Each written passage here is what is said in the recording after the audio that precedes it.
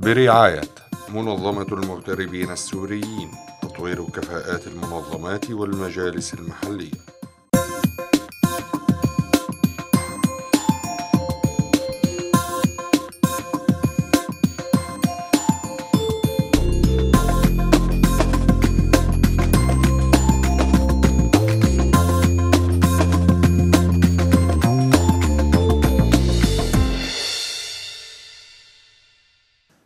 السلام عليكم ورحمة الله تعالى وبركاته. نرحب بكم أعزائي المشاهدين في لقاء متجدد من برنامجكم مجالسنا المحلية والذي نستعرض فيه واقع المجالس المحلية ودورها في خدمة وقيادة المجتمع. من هنا من مدينة ألقاها إخوانها في غيابة الجب. من مدينة تغص بالمجازر وتغص بها الحناجر. هي حلب. حالها يقول حسبنا الله ونعم الوكيل. في حي من أحيائها المحررة والذي يضم ما يزيد عن عشرة مساجد الطرنطائية وبرسيل والبلاط. وليس آخرها هارون دادا والذي يعود معظمها إلى تاريخ العهد المملوكي.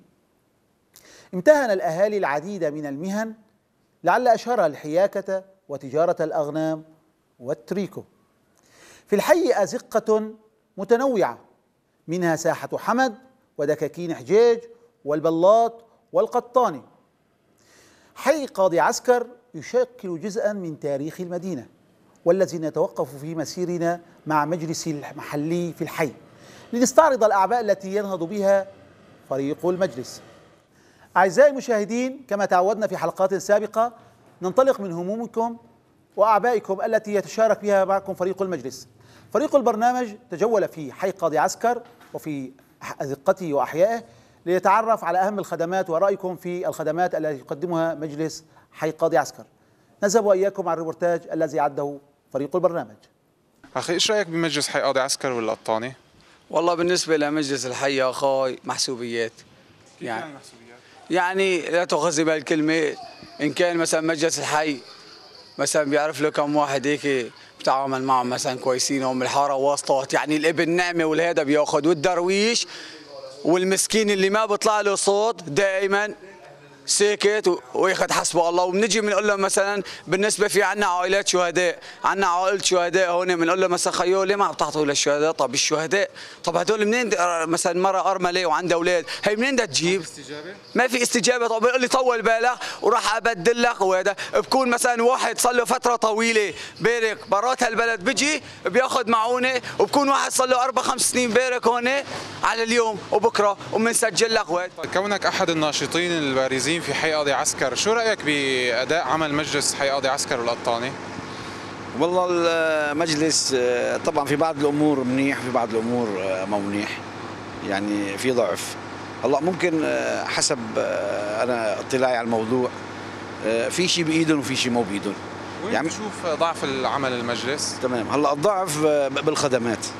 موضوع الكهرباء والنظافة نوعا ما. موضوع الكهرباء يعني أنا مرة حكيت معهم قلت لهم قالوا لي والله عم نروح على الإدارة وما عم تستجيب بشكل صحيح يعني أو بشكل جيد. فهون هون هون الضعف. موضوع التخديم الإغاثي مثلا المكتب الإغاثي عم يخدم حي قاضي عسكر مثل ما عم يخدم حي القطاني والبلاط؟ والله حسب تصوري إيه. يعني في في عدل بالتوزيع بين الأحياء. هلا ما في شيء 100% عدل. بس نوعا ما الأمور آه، منيحة. بالنسبة للإغاثة آه، الأمور منيحة نوعا ما. طبعا ما في عدالة يعني 100% إجباري يعني هي. بس ولكن نوعا ما الأمور منيحة يعني. شو رأيك بالخدمات اللي عم يقدمها مجلس الحي للأهالي؟ كويسة. كويسة. توب طب ما ب... وين بتشوف التقصير بعمل مجلس الحي؟ ما عندهم تقصير. ابدا والحمد لله أنا بدي أحكي على حالي يعني كويس طيب هل بتعتقد إنه مجلس الحي قاضي عسكر والبلاط والقطاني هن بيمثلوا أهالي هالحي؟ بيمثلوا إيه آه، أخي إيش رأيك بمجلس حي قاضي عسكر والبلاط القطاني؟ يعني بالنسبة لمجلس الحي وقاضي عسكر كويس بس جنس بالسوق كيكين حجاج ما في طاول لا هو نفس المجلس. هو نفس المجلس نعم. بس ما في شيء طاول هالعلبتين عجوه اعطونيهم اول رمضان هلا لا فريكة لا رز لا شيء طاول طابه طاول يعني بس علبتين عجوه من أول رمضان لهلا. طيب أنت أنت وين ساكن؟ ساكن بالبلاط.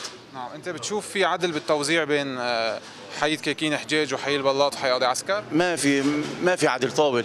يعني لناس تاخذ ناس ما بتأخذ. ناس بيطلع ناس ما بيطلع له يعني إيش السبب؟ يعني الله نحن مسجلين شخصا نحن من من هذيك السنة الله كيكين حجاج ما اعطانا غير علبتين عجوه بس من لا فريكة لا رز يعني أسطورة عم نشوفها قدام عيننا نحن ما عم ناخذ شيء طاول طب أنت بتعتقد إنه مجلس حي قاضي عسكر والبلاط القطاني بيمثلوك؟ لا ما بيمثلوني طيب ليش؟ لأني ما عم بخدموني عمو شو رأيك بمجلس حي قاضي عسكر والقطاني؟ والله كويس ابن حلال كويس ما في مثله ابن حلال طيب شو هي الخدمات يلي عم بقدموها المجلس للأهالي؟ بس معونة وبس. ما عم ما ناخذ بيقوم بإشراف على نظافة الحي، المي، الكهرباء؟ ما ما رحت عليه مرة ولا مرة. عمو أنت بتعرف كيف تشكل مجلس الحي؟ لا والله أكذب عليه برعاية منظمة المغتربين السوريين تطوير كفاءات المنظمات والمجالس المحلية. نرحب بكم أعزائي المشاهدين من جديد. سيد عمار آه، أهالي الحي بعض الاهالي الحي سألناهم عن آلية تشكيل المجلس هل هم على اطلاع؟ هل أعضاء مجلس الحي يمثلونكم؟ بعض الناس ذكر إنه آه، أعضاء مجلس الحي إما لا يمثلهم أو ليسوا على اطلاع كيف يتشكل المجلس.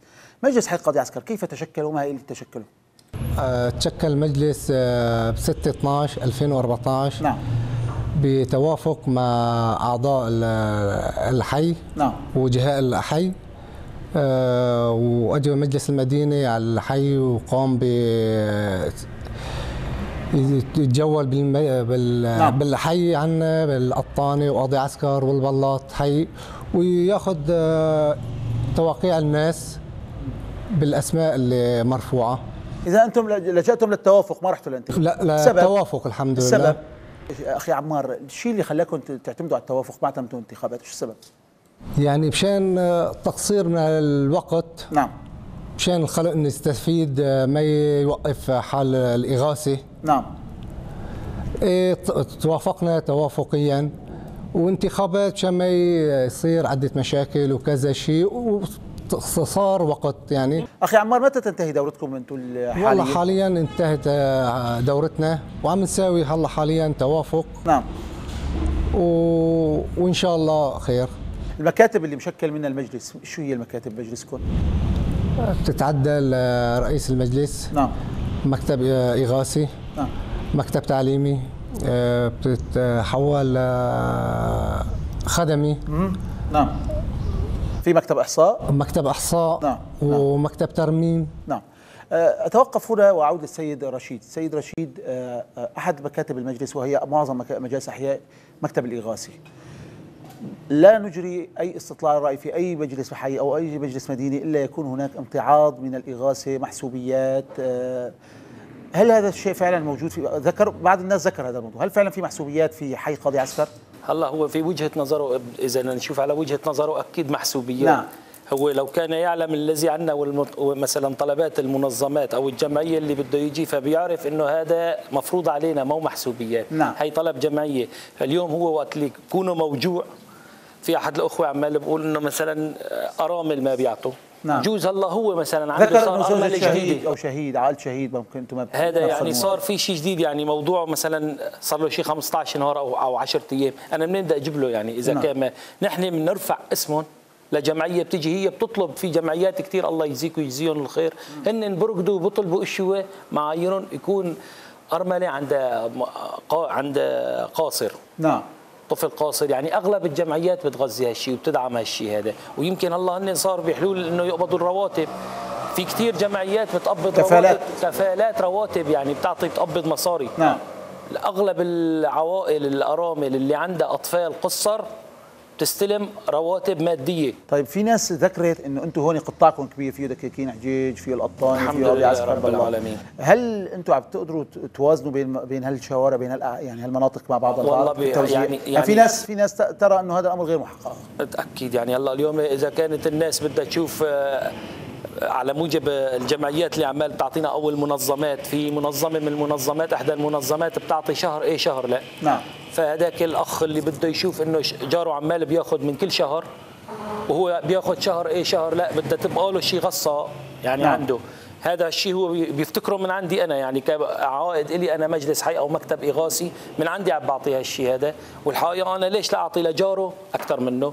هو بحسب إنه جاره وقت كم اللي عمال بسلك كم حصة اغاثيه بتوزعوا بحي آه، قاضي عسكر؟ في عندنا 450 600 حصة اغاثيه شهريا. شهريا بتتوزع عنا بحينا إيش المعايير؟ 600 حصة بتتخلص منها بس في عندك 50 من 600 نعم. يعني هي 550 حصة واقعية كل شهر ال 600 نعم. شهر إيه شهر؟ لا في انه 50 عائله بس 50 عائله بتاخذ شهر إيه شهر؟ لا. نعم. ال- المعايير أنتم بتنقوا فيها. هلا 600 600 حصة ما بتشمل كل عائلات حي قاضي عسكر.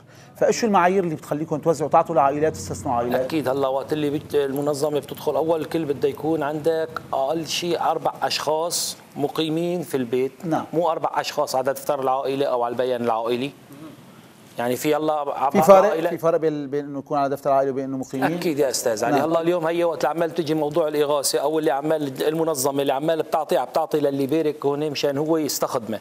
مو لحتى مثلا يبعته أو يستخدمه بالبريد المستعجل.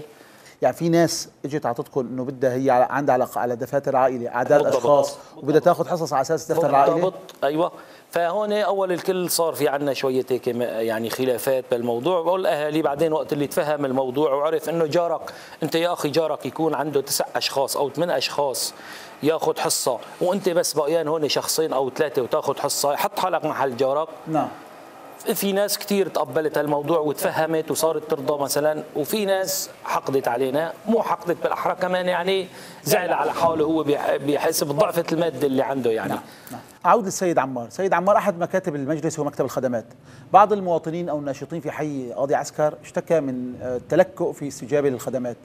هل أنتم فعلا في عندكم بطء في في التنسيق بالنسبة في في حال خدمات الكهرباء أو إلى ما أو خدمات أخرى في الحي؟ الحمد لله متابعين آه، من ناحية الخدمات الكهرباء على طول كهرباء ما في حال توفرها طبعا بيحاول توفرها بنبعت على على الكهرباء بنبعت عليهم كذا شيء متواصل معهم.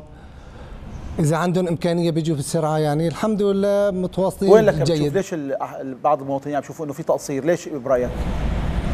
بجوز ما بعرف يعني مشان إيش ما اسمه مبرر له أي شيء ما بنعرف. يعني إيش هو؟ هو بقصده بايشو بالنظافة الحمد لله متابعين مع القطاع متابعة مشان النظافة. نعم. الحمد لله جيده وكويسه في أمبيرات في الحي؟ في أمبيرات طيب طبعاً. عظيم. حاليا في مؤخرا مجلس مدينه حاول يصدر, تسعيرة لموضوع الأمبيرات. نعم هل هذا الموضوع فعلا نجح وتم تطبيقه في حي قاضي عسكر؟ لا إيش السبب؟ عرضوا علينا إني كمولدة إني آه، في عندنا مولدات الحمد لله والأسعار يعني مناسبة نعم مكتفية حينا من ناحية الأمبيرات التسعير تسعير الامبيرات تسعيرة آه، حاولوا هن يسعروا الامبيرات في مدينة حلب، هل هذا الأمر نجح وطبق تم تطبيقه في قاضي. عسكر؟ إيش السبب ما نجح؟ التسعيره ما هي منطقية، الأمر إيش وين وين هو بشوف الخلل؟ بقولوا لك إن آه، تسعيرة المازوت نعم. كل نهار عن نهار عم بفرق سعر المازوت نعم إيه، ما بتحسن تفرض تجبر صاحب المولدة إنه يعطيك سعر محدد نعم. إجباري جمعه جمعة بفرق السعر اذا ال- ال- التسعير اللي اللي خرج فيه مجلس المدينة ما راعى يعني تغير أسعار المحروقات؟ لا لا لا. آه، موضوع الصيانة موضوع الأمور. هل هل تعتقد إنه أنت مجلس يعني أهل الامبيرات الأسعار اللي عم يشتغلوا فيها في في اللي عم يقدموها للناس حاليا في هذه الظروف هي هي أسعار منطقية؟ لا. لا كان في إلا فيها تجاوز؟ فيها تجاوز طبعا. طيب ليش ما بيصير خلينا نقول في تعاون لتطبيق تسعير مجلس المدينة؟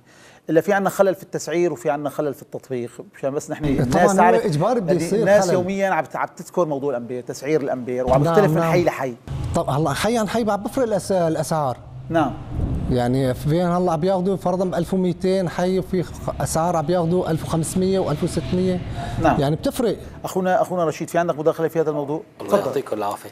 المداخلة إنه في حي أحياء اللي بتتضمن مثلا أعداد كثيفة من السكان بتكون مولدته أكبر بيكون عنده مثلا الهدر واحد والتصريف أكبر عنده. نعم.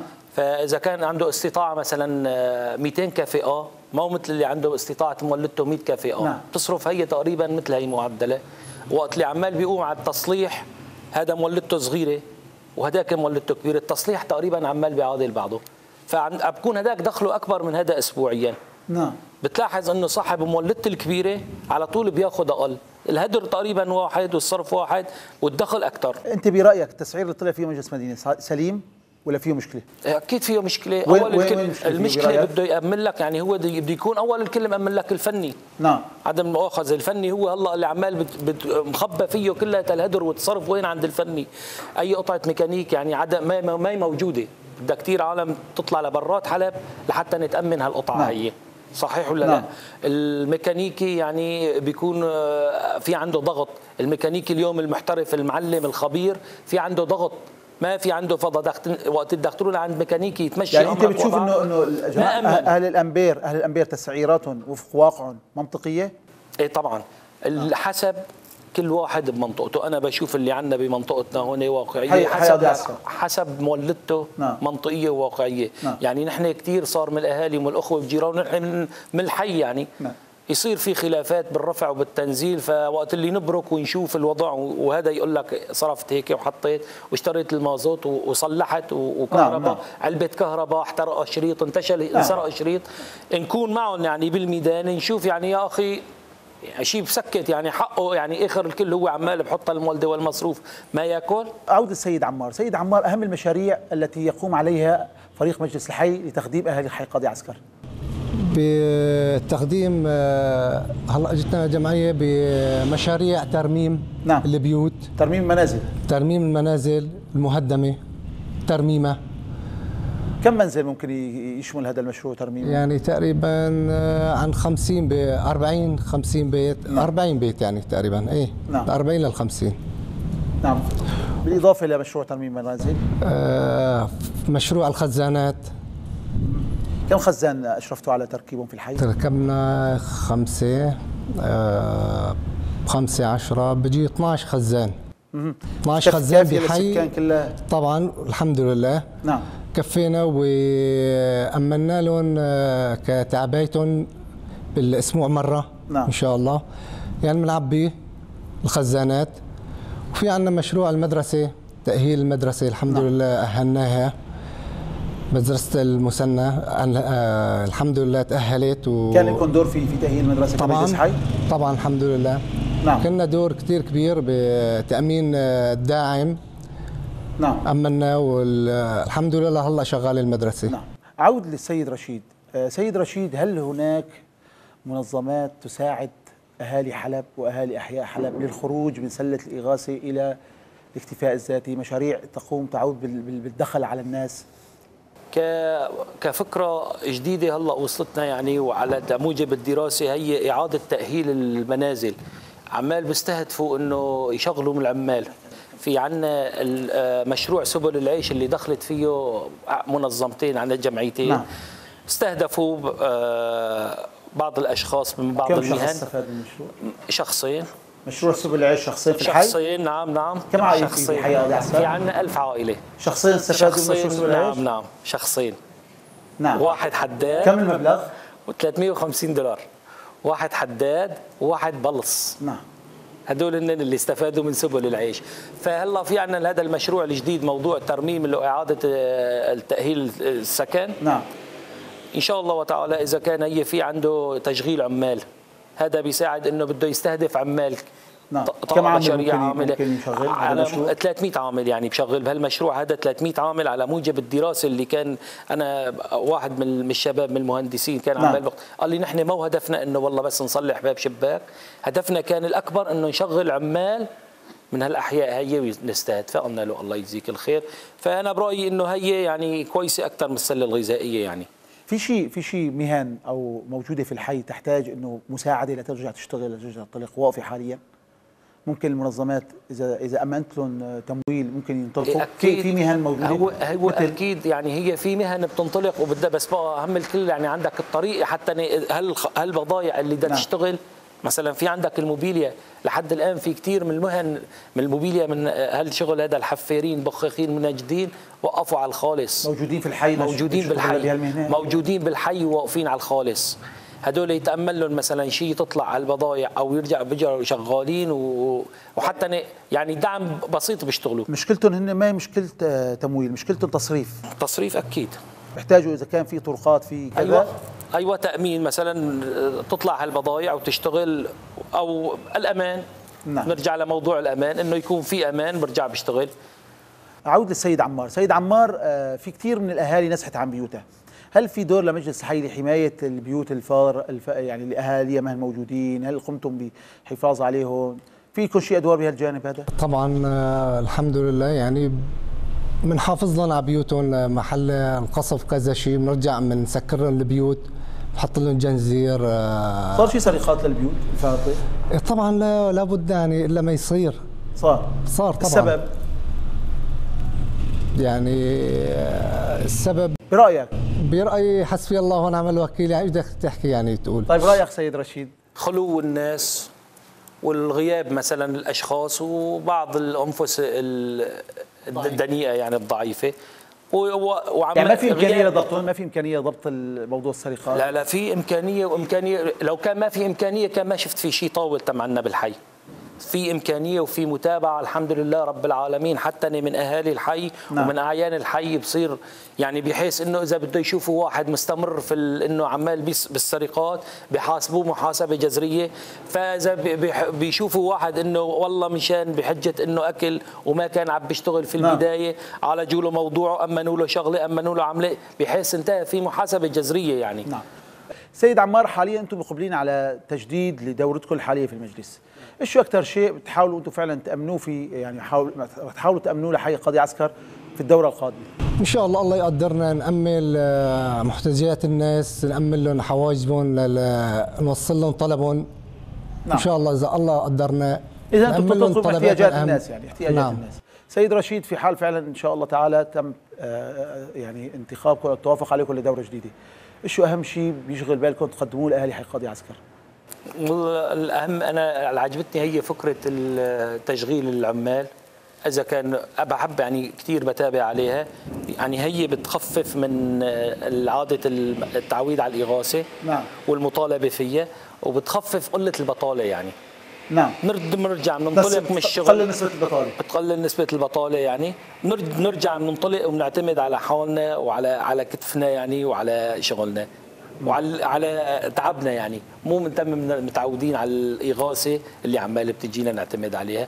ومع ذلك إن شاء الله وتعالى كمان نأمن لهدول بعض الأرامل والأطفال. نأمن لأطفال الحي مثلا آه، ظروف تعليم مثلا فريق تعليمي يكون كويس ومتطور أكثر وندخل لهم مثلا في بعض الهدايا مثل ما صار اليوم شفتوا يعني نحاول نتم عمال نرغب الطلاب والأهالي يبعتوهم وبعض الخطارة بركي نحاول هي نتواصل لهم مع جمعية الله طال على جديد كبارنا لأنه فعلا هدول الكبارنا يعني هون بحينا ما حدا عم بنتبه عليهم طاول نعم. لو ما اهالي الحي جمعيات ما إجانا شيء طاول بنسمع بجمعية كبارنا نحن لحد الآن ما شفنا طيب شيء سؤال. سؤال أخير إن شاء الله تعالى بنهاية هذه الحلقة. أكثر شيء خلال السنة ونص اللي اشتغلتوها بت- بتفتخروا فيه إنه قدمتوه لاهالي قاضي عسكر. نحن أفضل شغله أنا بالنسبة لي كإغاثي بفتخر فيها الحمد لله رب العالمين. امتصيت غضب الناس قدرت أسيطر على امتصاص غضب الناس نعم.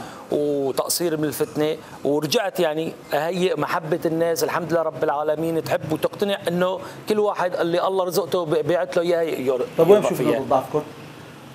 نقطة ضعفنا نحن على طول مقصرين يا أستاذ علي. ما بصير أقول إنه والله في عندي نقطة ضعف، أنا على طول شايف حالي نقطة ضعف، طالما إنه أنا مكلف إنه لا- ما أشتغل لهالخلق وما عم بحسن بأدي لها واجبها للخلق وامن لها طلباتها معناتها أنا ضعيف على طول ضعيف، ما عندي ولا نقطة قوة. طيب سيد عمار أكثر شغلة بتفتخر فيها انه قدمتوها لاهالي حي قاضي عسكر ونقطة ضعف دائما إنها موجودة في حي قاضي عسكر في مجلس حي قاضي عسكر. بالمجلس الضعف آه، طبعا نحن على طول بنشوف حالنا اني ضعفاء اني ما اللي بنريد نشتغل أكثر نقدم لهم شيء نعم. أفضل و... وعمل يعني أكثر من هيك. نعم. هذا الضعف وأكثر إنجاز بتعتقد إنه فعلا أنتم اشتغلتوا عليه بتفتخروا فيه كاهالي حي قاضي عسكر؟ لاهالي حي قاضي عسكر. الحمد لله يعني اشتغلنا إني آه، قدمنا مثل ما قلت لك الخزانات تأهيل المدارس يعني الحمد لله. وفي عنا هنا بسوبر العيش هلا ب- إن شاء الله إني مشان عمل لل- للحي. نعم. يتقدم. وإن شاء الله خير. بإذن الله. في الختام أشكر السيد عمار دلاتي رئيس مجلس حي قاضي عسكر. شكرا جزيلا سيد يا عمار رب. الله يسرك الله يعطيك العافية. الله يعافيك. كما أشكر السيد رشيد طراب رئيس مكتب الإغاثي في مجلس حي قاضي عسكر. نحن بنتشكركم وبنرحب فيكم بهالزيارة الحلوة واللطيفة. ولو إنه كانت مدتها قصيرة بس بقى استفدنا يعني من خبراتكم أنتم الله يجزيكم الخير ويعطيكم ألف عافية. ومثل ما بقولوا أعطيتونا رجعتوا الطاقة لنتابع ونعطي أكثر وأكثر إن شاء الله. وألف. شكر لكم أستاذ الله يبارك كريم. من أقدم مدينة مأهولة في التاريخ. من مدينة فيها أقدم قلعة في التاريخ. من مدينة العراقة والأصالة. من مدينة من أخطر مدينة في العالم. نواصل معكم أعزائي المشاهدين في تقديم حلقات أسبوعية من برنامجكم مجالسنا المحلية. أشكر فريق البرنامج الذي ساهم في إعداد وإخراج هذه الحلقة والشكر الأكبر لكم أعزائي المشاهدين. كما أشكر منظمة المغتربين السوريين الراعي الرسمي لهذا البرنامج هذا علي حلاق يحييكم. أستودعكم الله في حفظه ورعايته. والسلام عليكم ورحمة الله تعالى وبركاته. الله يعطيكم العافية ويبارك فيكم. الله يجزيكم الخير الله يعافيك